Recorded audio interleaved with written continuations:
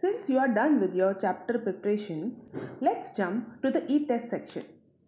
The e-test section will help you prepare yourself not only for each chapter but full entrance exam. Select the chapter from the chapter wise test that you have just prepared.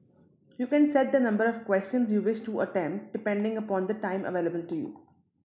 You can read the instructions for the test which are exactly same as that of your targeted exam. Submit your test once you have answered all the questions. We should now move ahead to see your result. You know, smart is not a person who just knows their strength, but also who knows the weakness too and is continuously improving.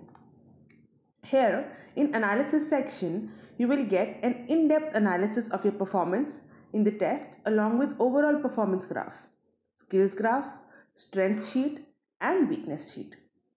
The strength sheet will help you gain confidence about the concepts and chapters you are well prepared for. And the weakness sheet will let you know the concepts which still require your attention. Clicking on weakness sheet will take you to the list of concepts you should revise and re-prepare. The same process you can do for the subject-wise tests as well as full mock tests. These tests you can give unlimited number of times.